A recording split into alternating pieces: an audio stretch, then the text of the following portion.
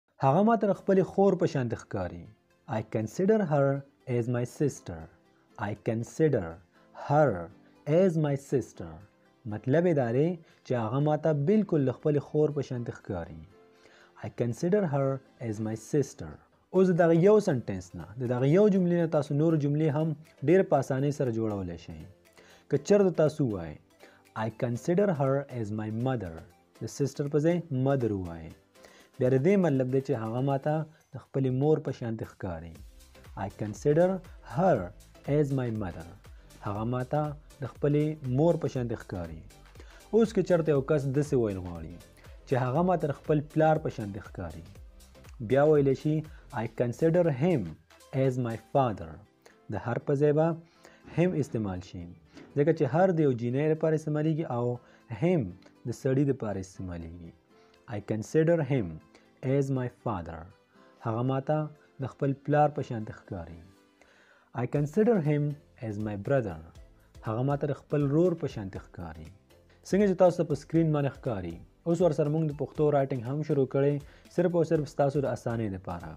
که دغه شان د تاسو ته څه قسم مشکل وي څه قسم تکلیف هم وي تاسو بالکل په کمنټ سیکشن کې ویل شي او موږ ستاسو د وینا مطابق هغه کار په دغه ویډیو کې په دغه چینل کې بالکل کوو او نن په دغه درس کې په دغه ویډیو کې به موږ د لسو نه زیات الفاظ او جملې زده کوو کومې چې زموږ د سپوکن انګلیش لپاره بې انتهایي ضروري دي څنګه چې درته زه هر ټیم وایم چې تاسو څه هم ګورئ څه هم زده کوئ نو د دې نه ځان سره خامخا یو نوټ جوړوئ دا به ستاسو اوس هم په کار شي او په راتلونکي وخت کې هم دا ستاسو ډیر زیات په کارېدلی شي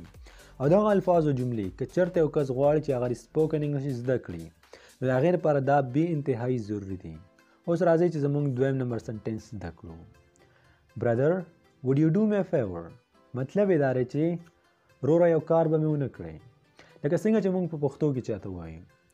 روره یو کار به مې ونه کړي یا روره یو احسان به را باندې ونه کړي نو دا غرنګې په انګلیش کې ویل کېږي برادر would you do me a favor brother would you do me a favor مطلب یې دا دی چې روره یو کار به مې ونه کړي پلیز ډو می فیور مهرباني وکړه یو کار مې وکړه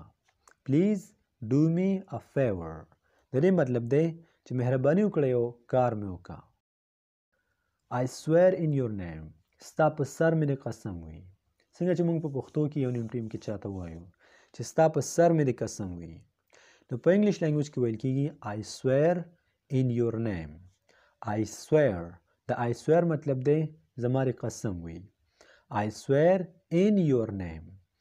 بیا د دې مطلب دی چې زما دې ستا په سر باندې قسم وي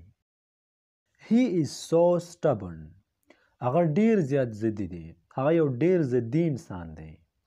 هی از سو سټبن د سټبن مطلب دی ضدي که چرته تاسو داسې ویل غواړئ چې هغه ډیر ضدي دی بیا ویل شي هی از سو سټبن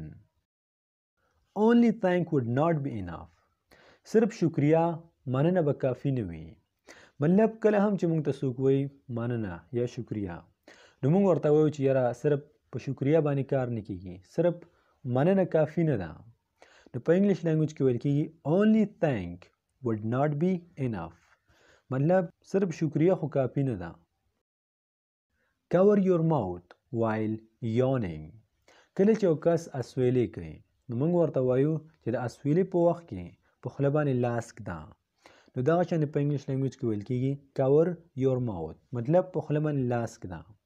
وایل یونینګ کله چې اسویلې کې اسویلې ته ویل کېږي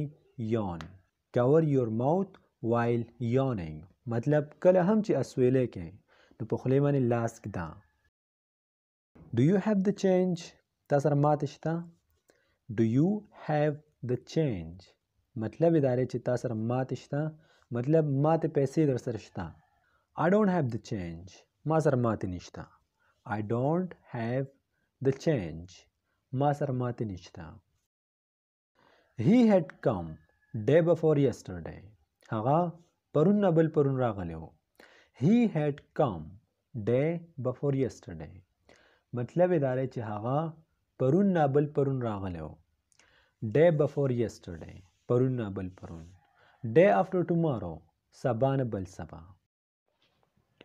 نیکسټ فرایډې را روانه جمعه لاست فرایډې تیره جمعه یا تیره شوی جمعه نیکسټ ایئر را روان کال نیکسټ ایئر مطلب را روان کال لاست ایئر د لاست ایئر مطلب دی تیر کال یا تیر شوی کال پریویس تیر شوی یا سابقه